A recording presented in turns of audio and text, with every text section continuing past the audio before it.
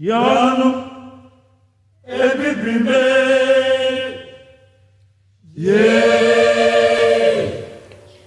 Akrofi Christaller Institute of Theology, Mission and Culture, ACI, is a postgraduate research and training institution that focuses on African Christianity.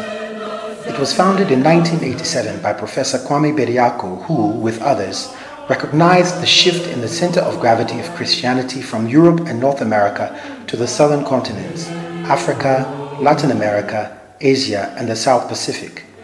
Whereas at the beginning of the 20th century, about 80% of Christians lived in the West, now less than 40% live there, with the 60% and more living in the southern continents. This demographic fact places tremendous responsibility upon the church in Africa and makes African Christianity a field for active study and research so as to equip for more effective mission and ministry. Akrofi Christaller Institute exists to help the church rise to its responsibilities and meet the challenge. To achieve its objectives, ACI has developed the Master of Arts in Theology and Mission with a number of possible options biblical studies, Pentecostal studies, holistic mission and development, leadership, mother tongue theology, and Bible and science. ACI also offers the Master of Theology program with options in African Christianity and Bible translation and interpretation. Then the Doctor of Philosophy program in theology focuses on African and world Christianity and Bible translation and interpretation. Christian leadership in Africa and beyond will greatly benefit from the curriculum that enables those eager to equip themselves for mission and ministry to appreciate the realities of the African cultural and religious setting, as well as African Christian experience, and consequently engage more effectively with today's ministry challenges. To support the achievement of these laudable objectives, the Johannes Zimmermann Library is available for the use of students and visiting researchers. It houses about 30,000 volumes of literature and journals specializing in theology and the history of Christianity in Africa. It includes indigenous language materials as well as other special collections in African history, language, and culture. The Johannes Zimmermann Library also has an archive preserving archival materials of the Basel Mission and the Presbyterian Church of Ghana, as well as other ancient records of Christian history in Ghana. In addition, ACI is a subscriber to several databases, which enable researchers to be truly international in their range of research. The offices and seminar rooms of ACI are housed in the historic Basel House, originally constructed between 1848 and 1860 to accommodate students who were trained to become teacher catechists of the Basel Mission Church and later the Presbyterian Church. Just adjacent to Basel House is the newer Students' Hostel, which has spacious and comfortable accommodation for the many students who prefer to be housed on campus to give undivided attention to their studies. For guests and senior visitors to ACI, the historic Coconut House, also constructed in the 19th century, is available.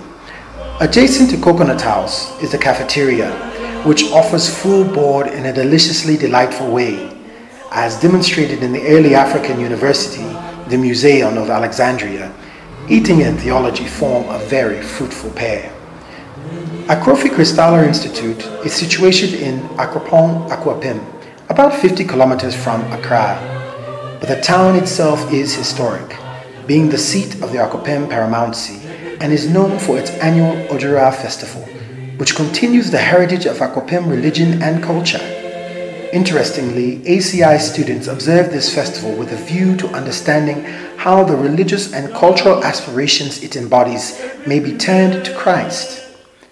One of the core values of ACI is excellence, and it seeks to achieve this in all aspects of its life. It is no wonder that it was the first private theological institution to receive a presidential charter to award its own degrees.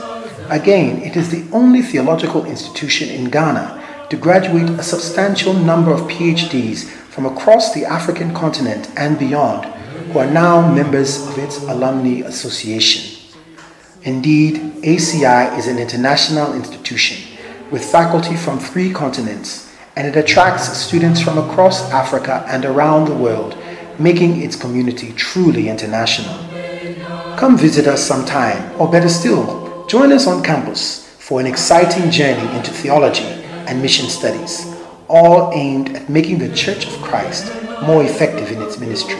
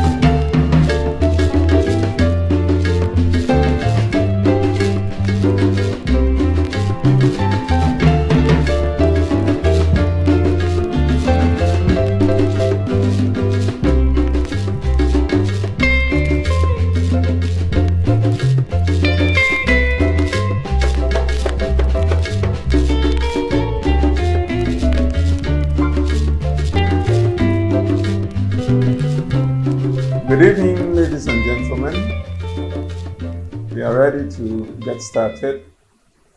And I invite Reverend Michael Naughty, a research fellow of the Akrofi Christaller Institute of Theology, Mission, and Culture, to offer the opening prayer.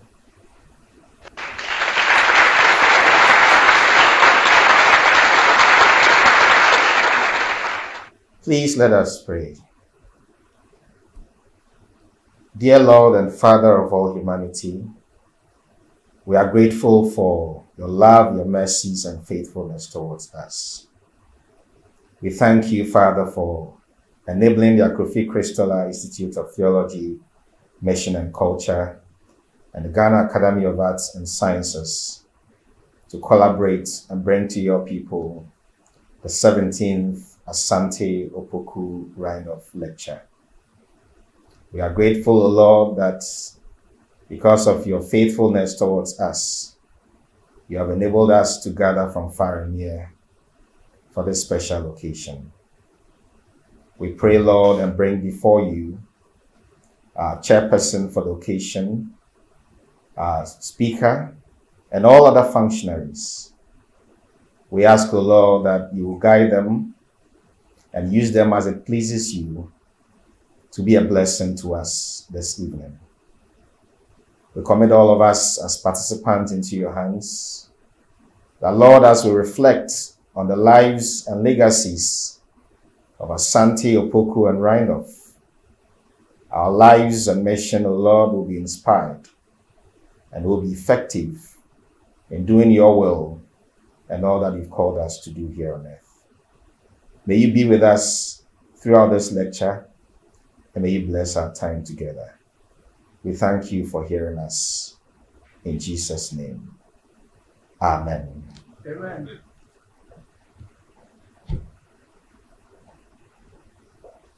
Thank you very much, Reverend Naughty. Ladies and gentlemen, It's a pleasure for me to warmly welcome you to the 17th Asante Opoku Reindorf lecture. This is a lecture under the auspices of the Akrofi Christaller Institute of Theology, Mission and Culture and the Ghana Academy of Arts and Sciences.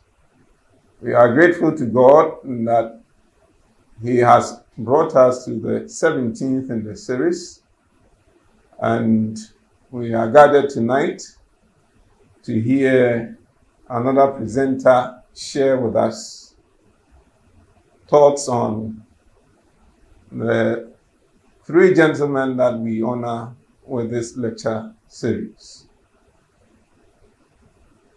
David Asante, Theophilus Opoku, uh, Reindorf. These were giants in their time, workers of the Basel Mission, local people who nevertheless felt they could contribute to the life and work of the Basel Mission Church. And when given the opportunity, they distinguished themselves. They distinguished themselves in the area of ministry, but in many other areas as well. And there are many writings and records of their activities bear testimony to the decision to honor them with this series. We are grateful to the Ghana Academy of Arts and Sciences for the readiness to collaborate in this lecture series and to give us the opportunity to meet at the Academy premises. We warmly welcome all of you to this year's lecture. Our prayer is that it will be a blessing to all of us. You are most warmly welcome. Now, I will proceed to introduce the one who will chair this year's lecture. We've been privileged to have him chair the previous ones in recent years, and he is highly qualified to chair this year's lecture as well. Professor Dr. Engineer Henry Niaji Wellington is a heritage scholar and a fellow of the Ghana Academy of Arts and Sciences. He holds membership in many societies, is a fellow of the Ghana Institute of Architects, a member of the Ghana Institute of Planning, a member of the Ghana Heritage Conservation Trust, a fellow of the Chartered Institute of Administration and Management Consultants, and he's also a member of the Board of Trustees of the Christian Service University College based in Kumasi. Professor Wellington is a staunch member of the Presbyterian Church of Ghana and has been very active as a Christian. And it's a privilege to have him chair this year's Asante Opoku Reindorf lecture, having himself been the presenter in the year 2018 on the topic Edikanfo Mo and what are heroes for. He belongs to the Opoku family and therefore it's a pleasure for him to always be associated with this lecture series. On that note, I present to you our chairman for the occasion, Professor Dr. Engineer Henry Adziri Wellington. Well,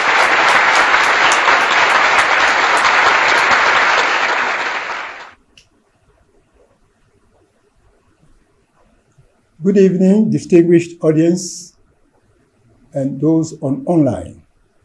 Thank you very much, Professor Rector, for the introduction.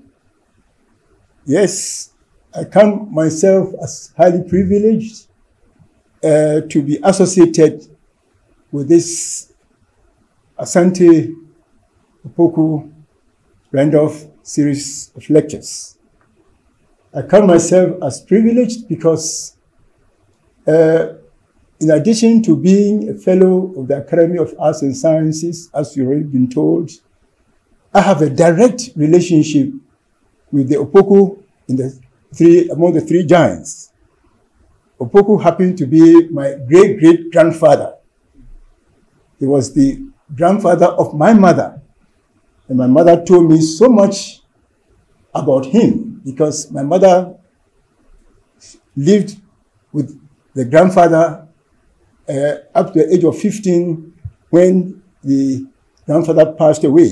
In fact, she was there with the grandfather on their way from down the valley up to the hill of Akropong when her grandfather passed away. So this series of great significance for me. So once again, I'm very grateful to the Academy for uh, asking me to chair this evening's lecture. Distinguished audience, it's a great delight for me to introduce the speaker for this evening. I just got to know him a few days ago when I was uh, with him on a Zoom. But I have here his uh, CV, from which I'm going to pick a few things to say about him.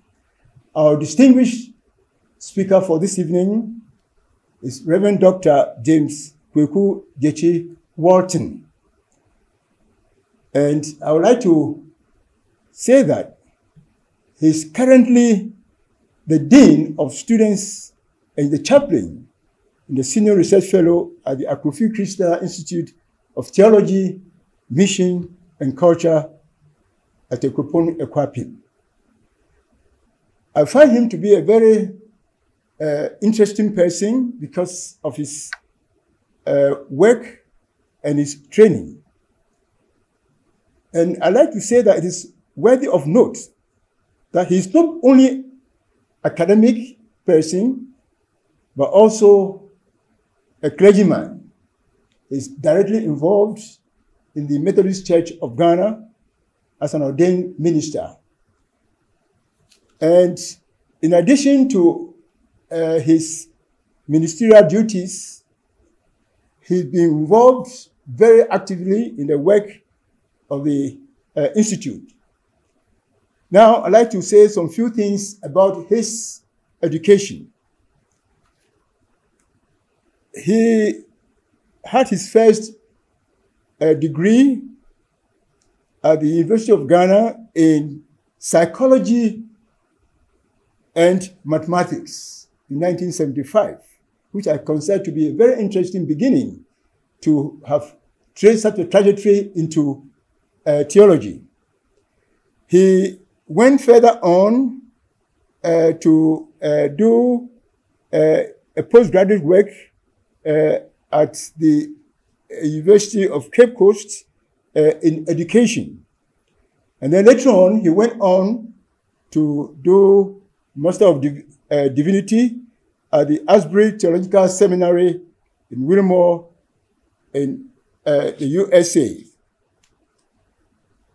Now, he has been very, very assiduous in his work as a scholar. And because of that, he's done a number of publications. Going through his CV, a few of them have attracted my attention, which I want to share with you, audience, this evening. Reverend Dr. James Kweku Walton has done a number of publications, including the publication on migration and the church in Africa, facing up to a contemporary challenge in Christian mission. It was published in 2021. He did this in conjunction with uh, Dr. Reverend Professor uh, Pobi and Reverend Professor uh, K. Asante. They were the editors. Reverend James Kweku Walton has also published uh, an article in the Golden Port as uh, titled The Golden Port is Religious, Socioeconomic, and Political Impact on the Gold Coast and Ghana. This was in a publication edited by Robert, Professor Robert Addo-Fening and Professor Alison Howell. In addition to that, what attracted my attention was his publication on Trinity in the Trinity Journal of Church and Theology on the article Spirituality and the Primal Apprehension of the Christian Faith, a critical examination of Afua Kuma's Jesus of the Deep Forest. What also attracted my attention amongst his publications uh, is the a journal article uh, in a book on Thomas C. Oden, John Wesley's teachings. I find this to be interesting because it has to do with a person I've just discovered in my research on African, Asian African Christianity. In addition to this interesting journal publication, Reverend Dr. James Kweku Walton has done some additional academic papers as listed here. I'm not going to refer to them, but I want to go on to his research interests, which have also attracted my attention. I noticed that he's been involved in the round, Pan-African Theological Roundtable uh, Conference on exploring child witchcraft, accusations in African Pentecostalism, which I found to be very interesting. In addition, I've also noticed that has uh, made a publication or given a paper in the ACI annual doctoral seminar on the Bible in conversation with science and technology, technological ramifications from an African perspective.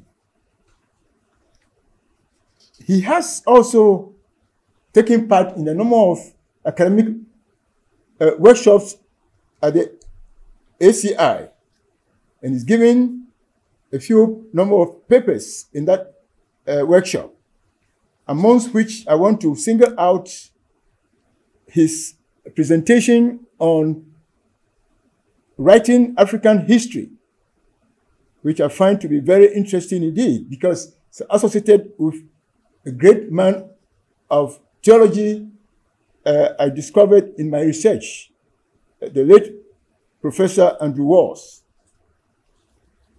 Finally, our speaker for this evening's presentation has also come up with a, a publication on Missiological Society of Ghana, Rethinking the Great Commission Emerging African Perspectives, which for me, as a Christian interested in evangelism, is very important indeed.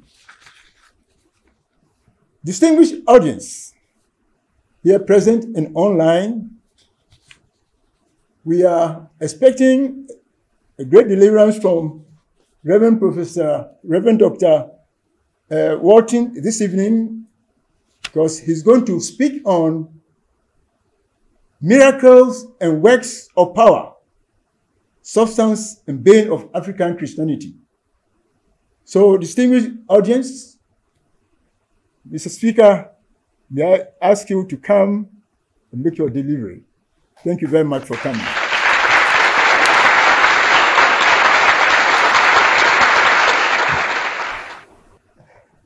Prof. Chairman, Director of Akrofi Christaller Institute of Theology, Mission, and Culture, ladies and gentlemen, it is a great honor for me to be asked to deliver the 17th Asante Opoku Reindorf Lecture on the theme Miracles and Works of Power, Substance and Bane of African Christianity. Prof. Chairman, the three gentlemen whom we celebrate today were all distinguished Christian leaders, as you have reiterated in your introduction. Indeed, they were clergy persons of high rank who served in the Basel mission of the 19th century.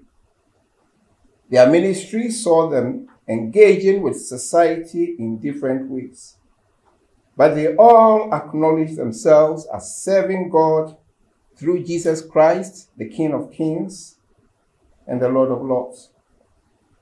In this regard, they serve as early Christian leaders of African Christianity, with the Gold Coast, now Ghana, as their sphere of service. All the three, Reverends David Asante, Theophilus Opoku, and Carl Christian Reindorf, were early ordained by the Basel Mission into full time ministry. They served as pastors and evangelists, but they also became linguists, writing several monographs in their mother tongues to aid the pursuit of their calling. Reindorf's production in 1895 of The History of the Gold Coast and Asante needs special mention. This was actually the English translation of the original in his mother tongue, Ga, in, 19, in 1889. Sorry. Their literary and historical work served the society and nation they belonged to. Contemporary Christians sometimes erroneously think that the forebears of old, especially those of the historic mission category, were not as committed not as zealous, and to use modern parlance, not as audacious or not as spirit filled. The conversion story of Asante, for example, should help to dispel such wrong thinking. So, on Asante's conversion, having been exposed to the gospel for a while, Asante felt that he did not measure up to the standards of God for baptism. It was one stanza of Sankey hymn 130 that convinced him that it is sinners that Jesus came to call, not the righteous. And let me quote the hymn, the stanza in reference. Come, ye sinners, poor and needy, weak and wounded, sick and sore. Jesus ready stands to save you, full of pity, love, and power. He is able, he is willing, doubt no more. The words of the hymn encouraged Asante to surrender to that pity, love, and power of God, and so was converted and eventually offered for full time ministry. Our early Christian forebears were people who had committed themselves to a cause which set them at variance with the accepted standards of society. And one needs to espouse a deep love for God to be able to do so. No wonder they were used of God to greatly grow the early Basel Mission Church and others. Having cleared the issue of their Christian commitment, one may be surprised not to find practices that contemporary Christians consider as reflection of powerful, miraculous ministry in their lives, except for one or two reports of the general period. Note that these were people who had marks of evangelical ministry with several open air preaching activities, vibrant prayer meetings, active study of the word, and missionary trips. Of these one or two reports, Catechist Edward Amedi Samson of Larteh Church, who prayed for a dead boy to come to life on 29 December 1859, may be mentioned.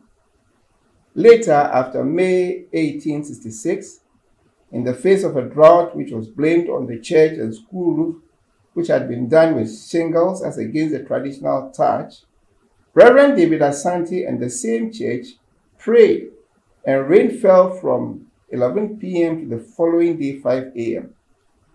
Additionally, interviews by Adam Moore in a research endeavor indicates a past of healing activities through prayer, but not many found their way into annual reports and other documents.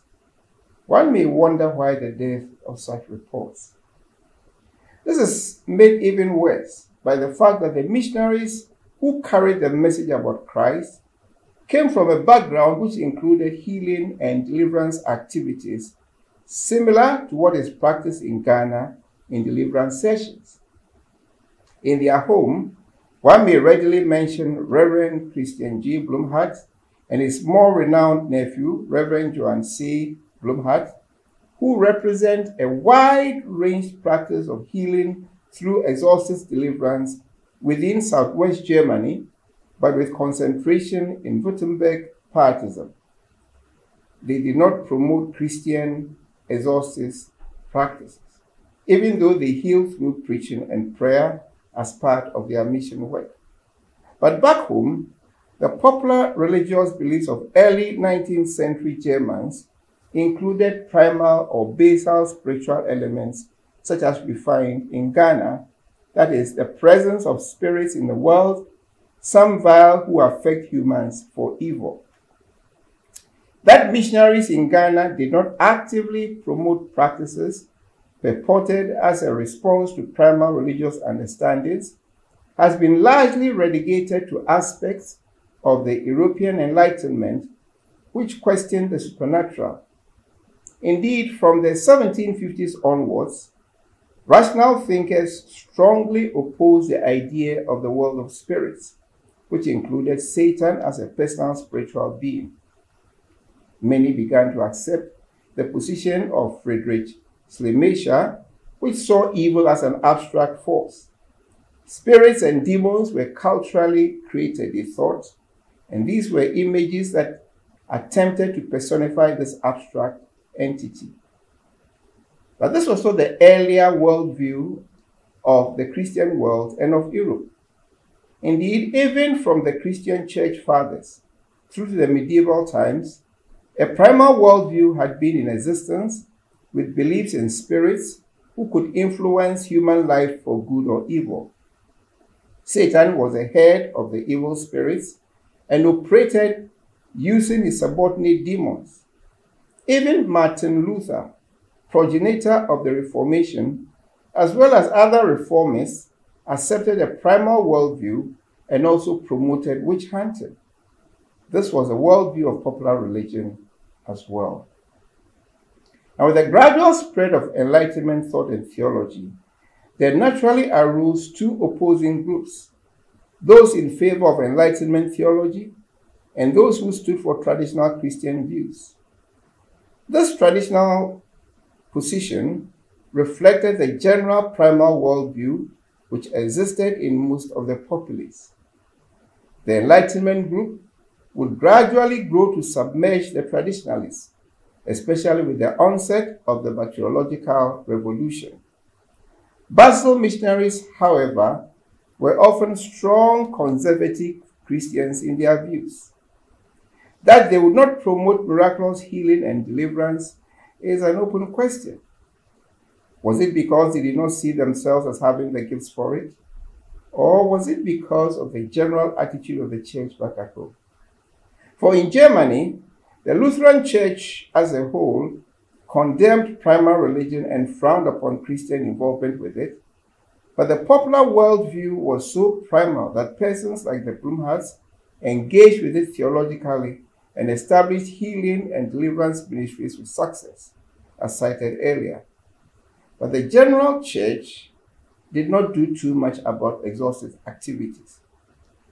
They still maintained a primal worldview, but held back from an active deliverance theology and practice, largely because Protestant theology had begun to limit the intervention of the supernatural in the natural or material world, they had begun to move in the way of the Enlightenment. On the mission field, the attitude was maintained that they had come to liberate poor enslaved Africans from spiritual darkness and demonic captivity and transfer them to the kingdom of light.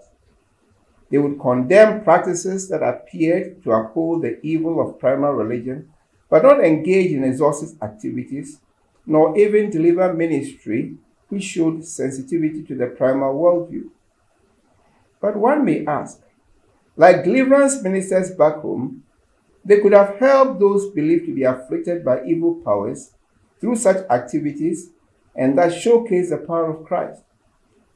Well, they did not, and we are not fully sure why. Possibly it was because of the general attitude of the church back home in Germany, as surmised earlier.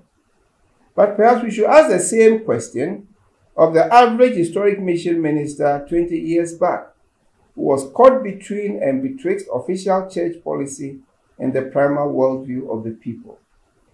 Missionaries, though, still had a general primal worldview, so it appears they followed initially their primal instincts by accepting Akan therapeutics when they were sick, but officially denounced generally Akan religion in favor of Christianity. This does not mean that the missionaries and even local pastors did not emphasize the power of God to assist the Christian believer in his existential challenges, as has already been observed. It appears our three gentlemen, Asante, Opoku, Reindorf, those we honor today, fall into this category. Now, as the years went by, the bacteriological revolution and the spread of Enlightenment thought stifled even more any attitudes of missionaries towards the practice of works of power in exorcism. Naturally, this would affect the total effectiveness of their general ministry to the African, whose worldview was strongly primal. We've been focusing on the Basel mission, but equally, the same observations may be made about other missionaries that grew the early Christian church in Ghana, the Wesleyan Methodist Missionary Society being one of the earliest. Kwame Bediako has noted that even though missionary education, especially in its vernacular forms, had a theological objective, that is to enhance the Christian endeavor, it turned out to raise a scholarly clientele who were at home with the local, but also open to the perspectives of the global. One may observe that in the same way, miracles and works of power, even though not emphasized, but possibly practice on the quiet and helping to bring people to faith led to an appreciation of the vitality and the possibilities of Christian adhesion from a local perspective, for the local gods were deities of power. One may ask then, what is the relationship between works of power and Christian ministry? Are works of power needful for effective Christian ministry? The purpose of this lecture is to discuss such works of power in African Christianity. Some see them as the main thrust of Christian ministry, while others see them as appearing to cast a slur upon the authenticity of the Christian faith. Together, they appear as a paradox, hence our topic. So let's turn our attention to works of power in Christian ministry.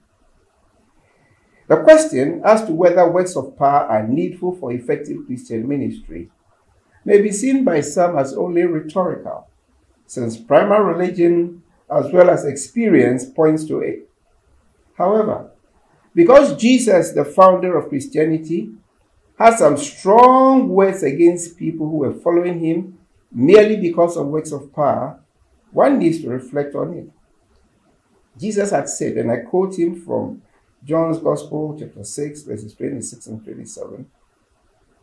Very truly I tell you, you are looking for me not because you saw the signs I performed, but because you ate the loaves and had your fill.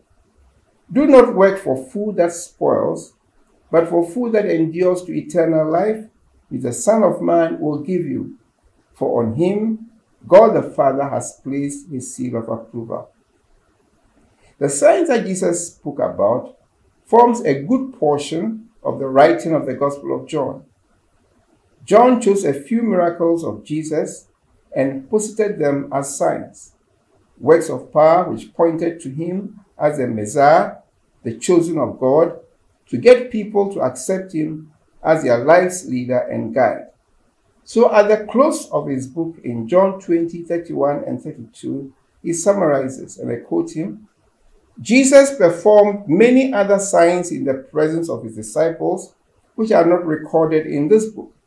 But these are written that you may believe that Jesus is the Messiah, the Son of God, and that by believing you may have life in his name. Unquote. John's objective then was for his readers to go beyond the ordinary spectacular performance of the signs and see them as pointing to Jesus as worthy of faith or life commitment, which belief in him as a Messiah, Son of God, entails. For John, then, miracles were a pointer to the person of Jesus as the Messiah, the Savior of the world. But this is not how many others saw it. The signs of miracles meant that Jesus could be a wonderful leader to minister to their felt needs. So Jesus was performing miracles, but his objective was different from that of the general populace. Hence his earlier frustration in John 4:48, and I quote him again, unless you people see signs and wonders, you will never believe. Unquote. He was telling the royal official who had come to him for the healing of his son because he realized that he was attempting to relate to him only as a miracle worker or healer, a spiritually powerful man that one could approach in times of need. A sign or work of miracle thus is to produce faith in Jesus as the Son of God. It may result, however, in unintended negativisms. Some would accept them so they would be used for their own selfish ends, and even others reject them altogether, closing their eyes to what they point to, such as happened when Jesus was branded as working as a collaborator with Beelzebub, the prince of demons, when he had healed a demon possessed man who was blind and mute. And this is in Matthew chapter 12, verses 22 to 32. They are not always, therefore, reliable as generators of faith in Jesus, that is, works of power. If this is the case, why then did Jesus accompany them in his ministry? Gleaning through the Gospels, one can see a wider objective culminating in that set forth by John. Among them, we may identify firstly the miracles or works of power were performed by Jesus as a response of love to human need. As, for example, when Jesus met the funeral procession of the widow whose only son had died. This meant that the widow had become extremely vulnerable with no one to care for her. Jesus, in compassion, raised him from death out of love. Secondly, the miracles were to validate the authenticity of his ministry as backed by divine authority. This is the popular belief it is also held by primal religion. It is only natural to expect that supernatural activity points to the supernatural source of a person's power. Jesus' miracles were, however, above any normal works of power. Aside from the several healing miracles, the feeding of the 5,000 and the raising of the dead may be mentioned. These made him out as a personage whose claims were worth exploring. Thirdly, and following from these two um, reasons already identified, one may note that Jesus' works of power were to get the attention of people, attracting them to believe in him and consequently to gain true life as John insisted. Many from all walks of life thus benefited from his show of power, ranging from Nicodemus, the religious leader, who upon reflection went to Jesus at night, and the centurion who saw him die, to Thomas the disciple who would not initially believe in the resurrection, or would eventually declare, like Thomas, My Lord and my God. Works of power in Jesus' military thus had a varying objective, but they were all gradually to lead the individual to faith in Jesus. The Christian minister may thus learn from their master. However, in Africa, and generally among primal societies, an issue comes up which we shall pursue next as we consider miracles and works of power as substance of African Christianity. Gillian Bediako has shown that, and I quote here, persons from a primal background are the ones who embrace the Christian gospel the most readily, who find that on entering the Bible, they do not have far to go before they find themselves on familiar ground, and whose God, hallowed from ancient times, is now revealed in the translated scriptures to be the God and Father of our Lord Jesus Christ. Unquote. The scholarship thus indicates the primal substructure of Christianity. In other words, persons from a primal background are more likely to embrace the Christian gospel, which is indeed what has happened. Primal religions have been found to underlie the Christian identity of most Christians in all of Christian history. They are consequently the most fertile ground for Christian adhesion. But what is primal? For those of us who are not so familiar with the term, which I've used severally in this lecture earlier, one may take the definition of Harold Turner as almost standard. And I quote him The most basic or fundamental religious forms in the overall religious history of mankind.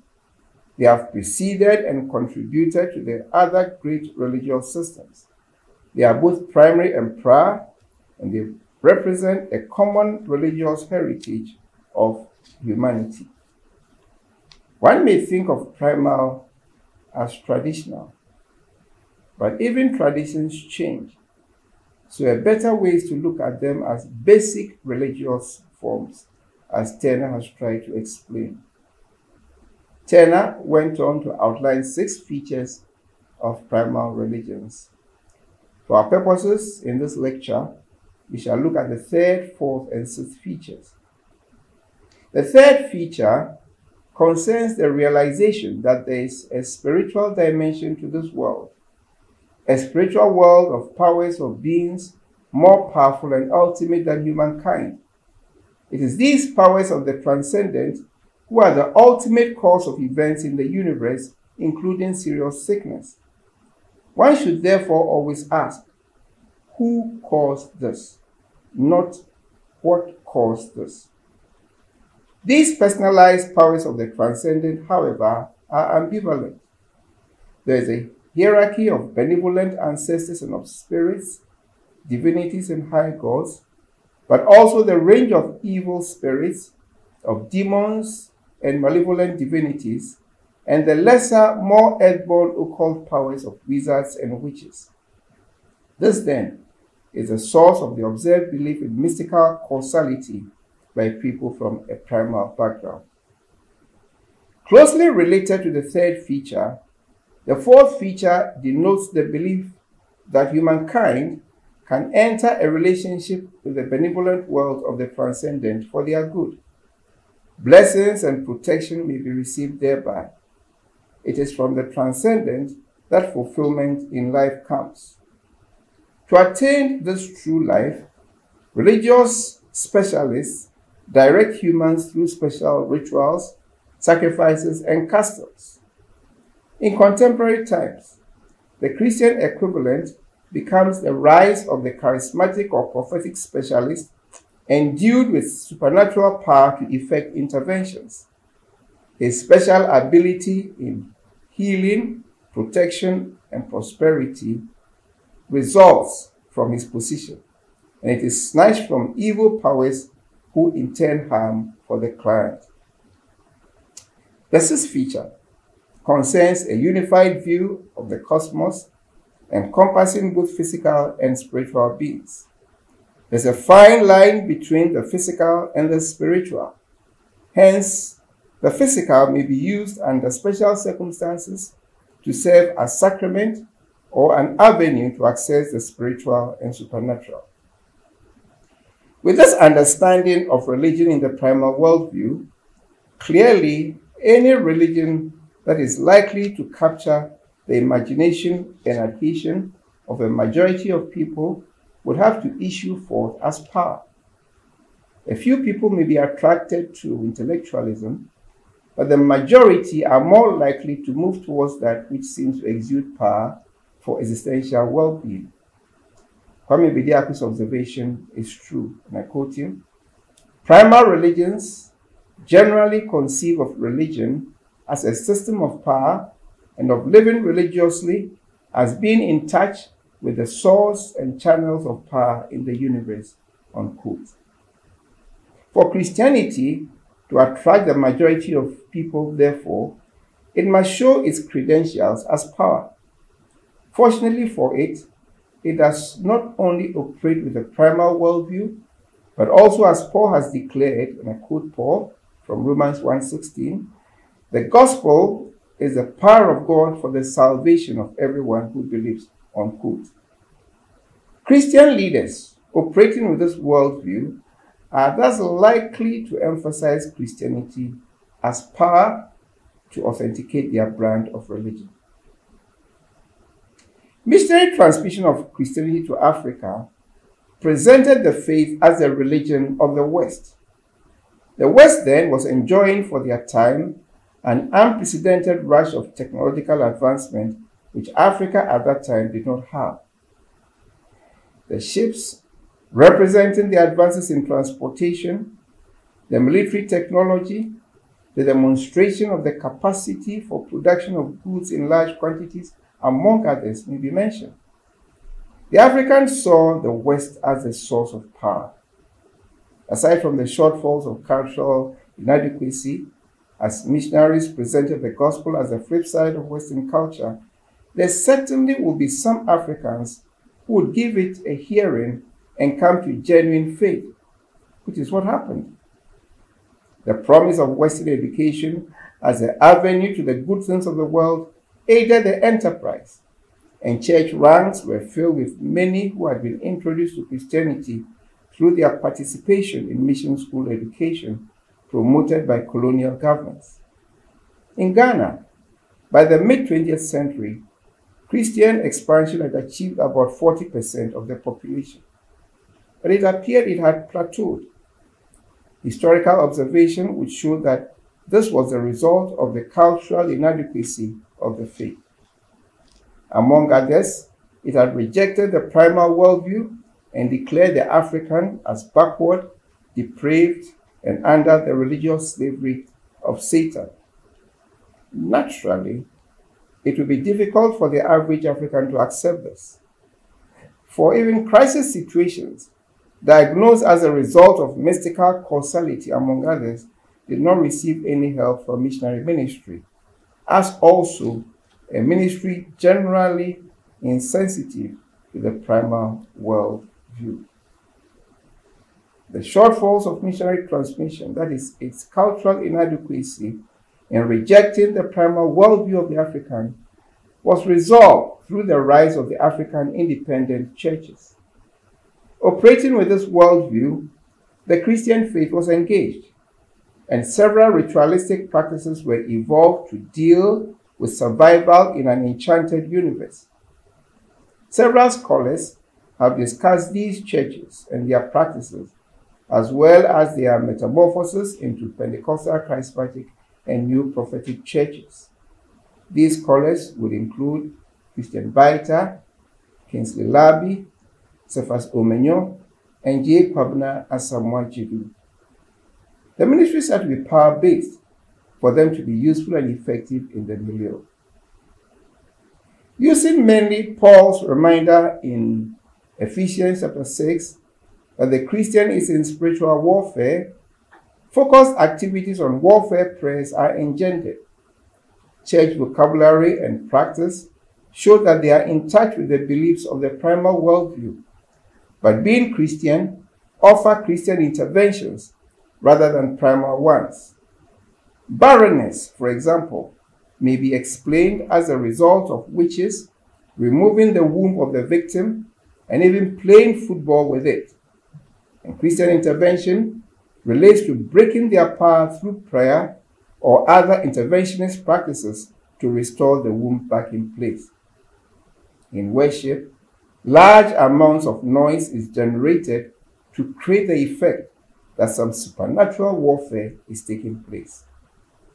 All this is led by the charismatic or prophetic expert who is supposed to be endued with the spiritual resources to help deliver victory through special prayers and rituals.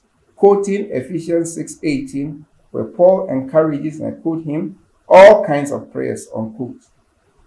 As Asamoah notes, I quote him, enchanted words and the supply of a range of sacramental substances infused with supernatural power for dealing with anything from ill health to the search for and protection of health, leading to prosperity and well being are used. Unquote. They seem to have achieved their purpose. For even though they may not be able to deliver solutions, the efforts at enabling power from the transcendent to help people solve their problems generates large measures of hope. So they continue their commitment.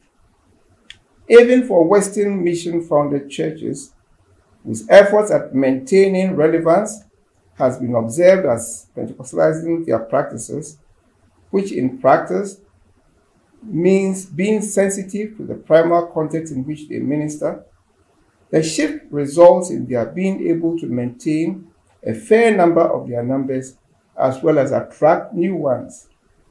Both their normal and revival services do indicate that they are sensitive to the worldview and traditional sources of transcendental power as well as the Christian responses, which, even though true in the past, was not so evident because of Western oriented worship formats and practices. One non clergy leader of such revival meetings in the past was heard to remark, and I quote him We are the people doing the real work in this church, unquote. Meaning the ordained minister was not in touch with power and consequently not as effective. This has been largely remedied in most places. All of this has seen to the rise in Christian adhesion to over 70% of the population in Ghana. In Africa as a whole, the numbers keep rising, making it the most populous Christian continent, as similar developments may be observed. On these basis, one can observe that, overall, miracles and other works of power necessarily have become part of the substance or objective of African Christianity. Even though their presence may be scant in several congregations, there is a hope that since the God of miracles is in their midst, his work of power would be realized in due course by faith. People yearn for it, and they will probably recount several miracles in their personal lives as a mark of the presence of God with them. The emphasis is on power to meet felt needs, just as the traditional religious aspect and its portals would do, as against perhaps in other jurisdictions of Christianity where the emphasis would be different. May we turn our attention at this point therefore, to miracles and works of power as being of African Christianity. Despite the ability to attract adhesion, miracles and works of power used as a prime basis of Christian ministry have their gross shortfalls. The major shortfall relates to the objective of the founder of Christianity, which has been partly addressed above. One may ask, why Christianity?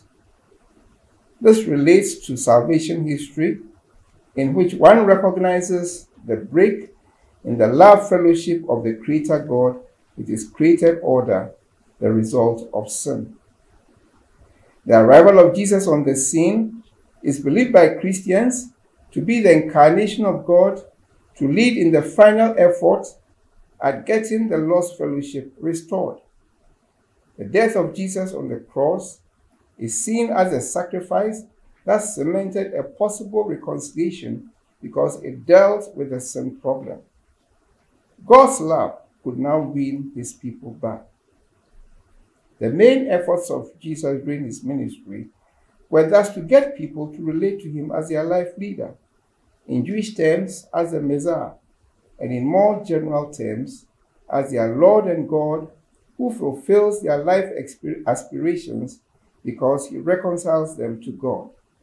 They should therefore be obedient to him in love. It is true, as demonstrated earlier, that because of his love, Jesus' ministry was also filled with compassionate works of power to deliver people from their existential challenges. So David Bosch has submitted that in Matthew's Gospel, Jesus' ministry is seen as holistic, involving both works of power and teaching to transform people to be holy, to begin to live the life of the kingdom of God. Indeed, Peter's sermon on the day of Pentecost introduced Jesus as a man accredited by God to you by miracles, wonders, and signs which God did among you through him. And of the early Christian preachers also, God testified to their ministries with signs, wonders, and various miracles, and by the gifts of the Holy Spirit distributed according to his will. And I've quoted firstly from Acts chapter 2, verse 22, and Hebrews chapter 2 and verse 4.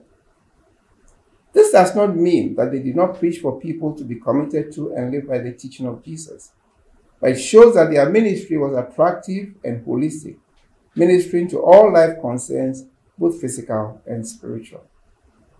In Pentecostalism also, the miraculous is valued and affirmed, and worship is authentic encounter with God in His power and blessing. The promise of the Holy Spirit, which emphasizes, is associated with power. And in Acts 1 8, one reads, You will receive power when the Holy Spirit comes on you. Moreover, in the Pentecostal mindset, prayer, authority, and power go together. And re- renewal groups have generally similarly valued miracles and works of power as an authentication of the presence and power of God. No wonder the brand of Christianity that is fueling the rapid Christian expansion in Africa is Pentecostal charismatic, since it meets the primal worldview expectations we see religious practice as efforts in assessing power to achieve well being. The emphasis on meeting felt needs, when not balanced, however, leads to a Christian practice that is divorced from the intended love fellowship of God. Now, it is geared only towards drawing power from God to solve problems. God now becomes an impersonal power source, and phrases such as moving the muscle of God, moving the hand of God, bending God's ear are thus often used. The power of the ritual to effect results, be it prayer, blessed items such as bangle, ring, or car sticker, prophetic words, the anointing, and so on, is emphasized. And the ritual itself may become a fetish, as God now ceases to be a personal being seeking fellowship with his lost humanity. The desire of God in Christ in reconciling and establishing a relationship of love with the believer is lost. Important aspects of Christianity that may be summarized as discipleship, or a life transformed into the likeness of Christ are also relegated to the background. So even potential church preachers taking licensing exams consider it normal to cheat, possibly because the end justifies the means. One may ask, what would they preach if it must be to a group of students preparing to take examinations? For one may surmise that it is mainly the power of God available to them to pass. And how will such preachers treat other issues of morality when it does not favor them? Does this not also speak to the observation that despite the large Christian adhesion in Africa, corruption is a problem? Further, the media is used heavily for the activities of such Christian leaders. On the radio and on TV, several programs featuring men of God and prophets prescribe all kinds of akwankyerɛ or spiritual directions to alleviate the challenges people go through. And additionally, invitations are given for counseling at their churches. To give an idea of the ongoings in these media communications, in one radio program, listeners who needed luck and love were directed to prepare a concoction of soap, honey, and other ingredients to be used to wash their face, whilst praying to God for luck and love. It would bring suitors to women, success in interviews, and other fortunate happenings to the user. Here, traditional primal practice of preparing concoctions for spiritual empowerment has been made a Christian ritual for success. So the personal God can be coerced through apparent magical practice to act on behalf of a suppliant, one may ask. Indeed, for large portions of African Christianity, miracles and works of power are ends in themselves for existential needs to be met. As Asamoah Gyadu notes, I quote him, through prayer, power may be obtained for healing, deliverance, exorcism or defeating demons, overcoming enemies, gaining promotions in life, securing favors, living a victorious Christian life, building and growing a church, and even taking control of physical and spiritual spaces, unquote. Not that there is anything wrong in these Christian interventionist activities. It is when they become the existential reason for church practice that one is forced to question their relevance in comparison with the scriptural position. For some churches, the body of Christ, even become solely clinics which dispense solutions to problems. And on this, it is interesting to note that some new prophets have added an herbal therapeutic practice to their spiritual activities of dealing with the powers generating the misfortune. In this environment, the Christian leader comes under pressure to perform, sometimes to conjure miracles to satisfy the clientele. And reported scandals in social media speak of Christian leaders approaching traditional religious aspects for power to amass miracles to meet the expectations of their following, even though the Christian faith frowns on this. The abuses are many. One can speak about the South African pastor who oversaw his congregation to chew grass and human hair, ostensibly to achieve victorious delivery of their destinies. And there's also the prophetess that managed to take huge sums of money from a client to divert so-called adverse calamity coming on her family. And finally, the recent court case of Miss Patricia Asiedua, also known as Nana Agradaa, a traditional priest turned Christian pastor who allegedly promised to double monies of of a congregation but failed to deliver, which is trending in national news and social media. All these show the dangers that unmitigated attempts at using supernatural power, in this case of God, to effect miracles may result in unfortunate events. It must be mentioned that Scripture warns against the dangers of prophetic ministry, even though it may be also used as a pastoral tool. And I quote Jesus from Matthew 7 15 and 16. Watch out for false prophets. They come to you in sheep clothing, but inwardly they are ferocious wolves. By their fruits you shall know them. Unquote. Aside from these abuses by Christian leaders, other inadequacies, more theological, may be leveled against the strand of Christianity that aims at assessing power for existential solutions for their own sakes. For lack of time, only one will be briefly considered.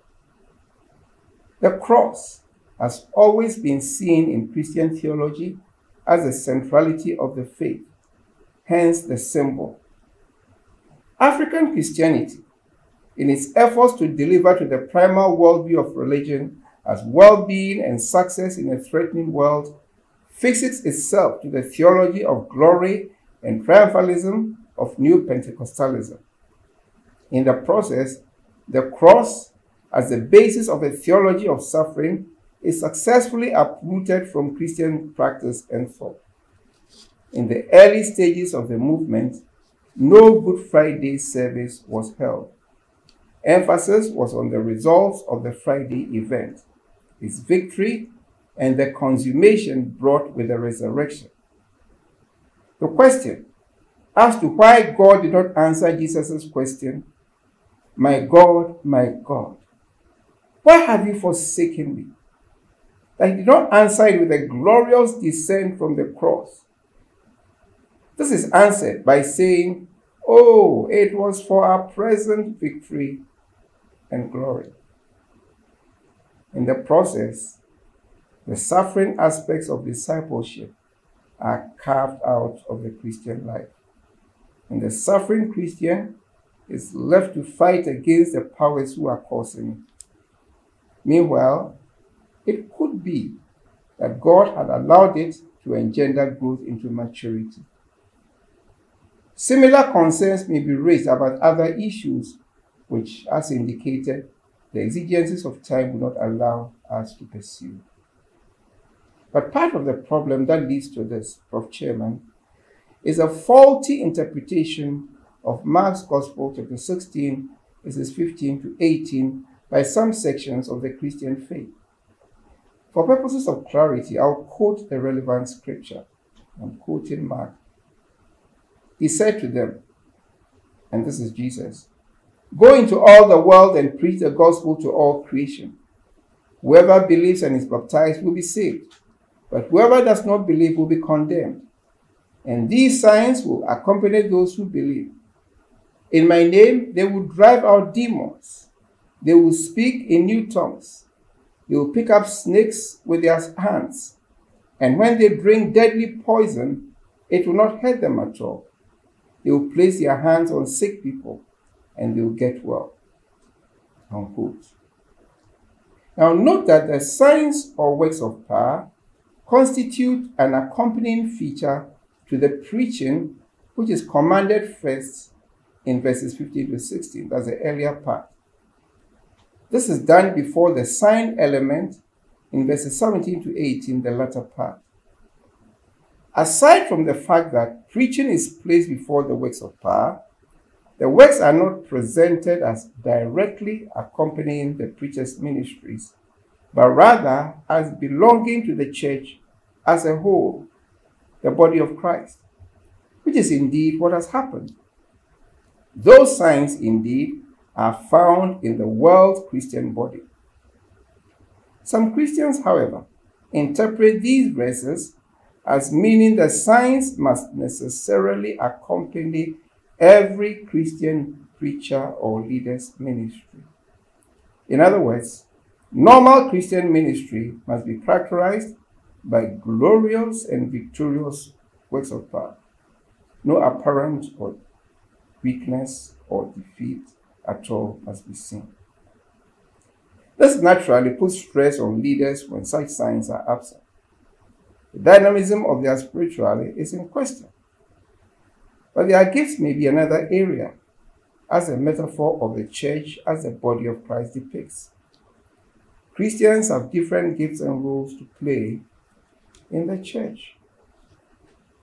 So, overall, the general African Christian emphasis on these worldly issues presents itself as part of the bane to its success in ministering to the human predicament in a world of sin and suffering. It is a one sided emphasis that skews the teaching of the gospel of Jesus Christ to its disadvantage. So, Prof. Chairman, the way forward. What should we do to do right? One may ask. Permit me the indulgence to suggest briefly what could be done. The Christian leader should be clear in his or her mind what and why they are leading. If the raison d'etre of the faith is clearly understood and accepted, the likelihood that issues relating to what we have identified as the bane of Christianity would arise would be low. The prime objective would be to follow the founder, the Lord Jesus Christ, in his efforts to make disciples of all nations of the world, and in the process, to urge them to come to a personal acceptance and faith of his ability to lead their lives in love. The primal worldview of any society serves as an advantage to Christian adhesion, as Christian faith itself is primal in its understanding of the world, and the add, Prof. Chairman.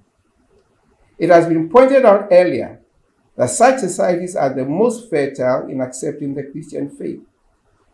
If, however, in its efforts to be relevant, there is no proper translation of Christian teaching into the tenets of primal worldview, the expansion of Christianity would be found to be shallow in its understanding of the Christian faith itself.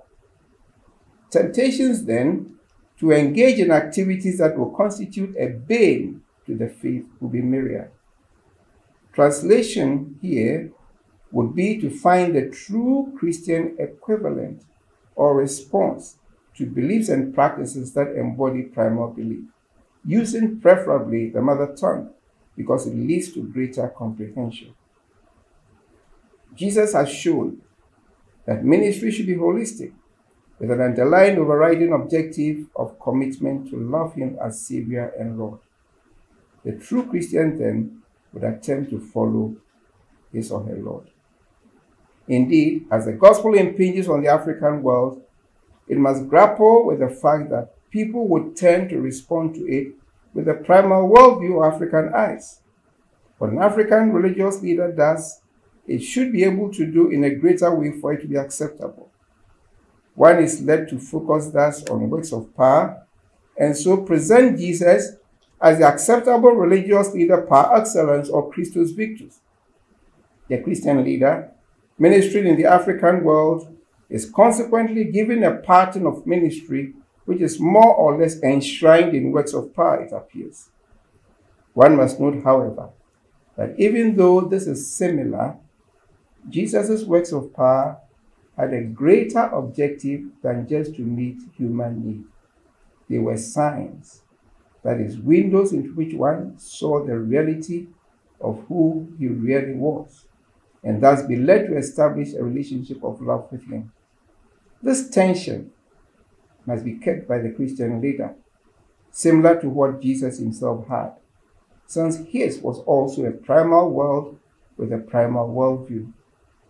And if one insists that some public display of works of power may be seen in the Christian leader's ministry for it to be authentic and effective, one may point to celebrated prophet John the Baptist, who was not recorded as performing any work of power. The power or anointing behind the preaching or teaching ministry itself could be a pointer to the supernatural underpinnings of the ministry as can be illustrated in Ghanaian Christian history. Because of the understanding of the Christian church as a body with different roles, works of power need not be normative in the ministry of a Christian leader. Prof. Chairman, may I conclude? Miracles and works of power have their place in any religion that attempts to help adherents access or relate to the transcendent since this is the arena of the supernatural. Both Christianity and primal worldview see a thin line between the two realms. Consequently, the breaking in of transcendental phenomena in the physical world should necessarily result in supernatural activity. Jesus Christ, the founder of Christianity, used the supernatural in various ways as have been identified in this lecture. Following him in his balance and objectives for African Christianity should be the way forward. If, on the other hand, influence from the primal worldview, among others, result in an overemphasis on works of power, then ministry would be seen as losing its way.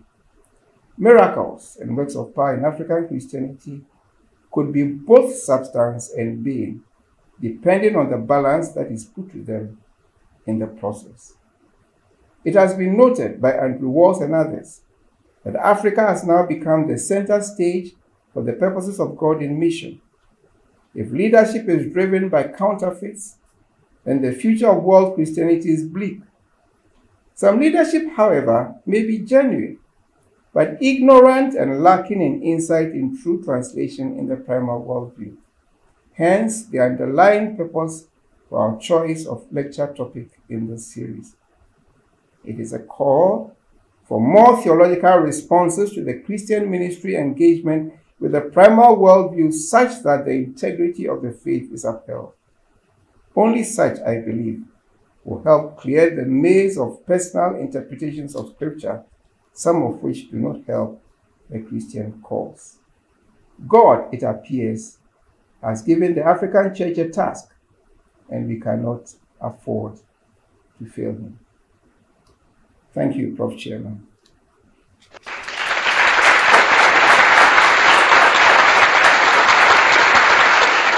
Distinguished audience present and online, I would like you to once again join me to congratulate Reverend Dr. Walton for this brilliant presentation on the subject he was asked to speak on. Reverend Dr. Walton, thank you very much for this very fascinating presentation you made. I made extensive notes of what uh, you have talked to us uh, this evening. There's so much, so enriched and so uh, profound that I will not be able to summarize.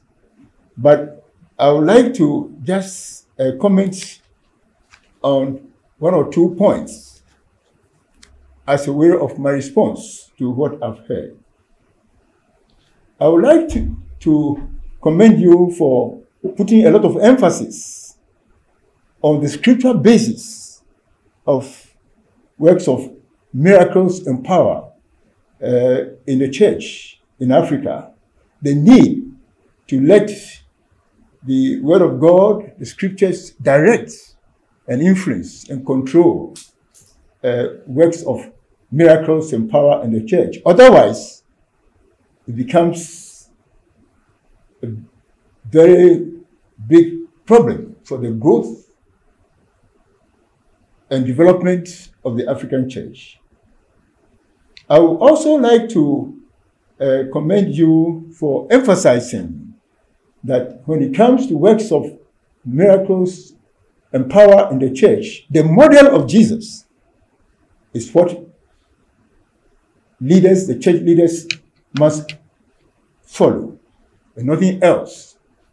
Finally, uh, I'd like to comment on the caution which you brought up very distinctly about the need for the African church to be cautious, not allowing works of power and miracles to corrupt, as it were, the church, as we have it uh, here in Ghana today. So, Reverend Dr. Walton, thank you very much for this brilliant presentation.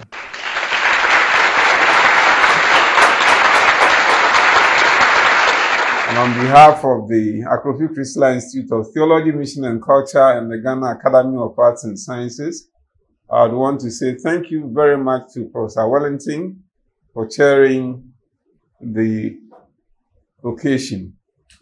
Thank you very much, Prof. And thank you also to Reverend Dr. Walton for his presentation. As has been acknowledged, very fascinating and nevertheless uh, a warning to African Christian leaders in terms of their responsibility towards the future of global Christianity. Dr. Walton, thank you very much. And I have the pleasure of inviting Apostle Dr. Emmanuel Anim, Pro Vice Chancellor of the Pentecost University, to close us in prayer and give us the benediction tonight. Apostle Dr. Anim.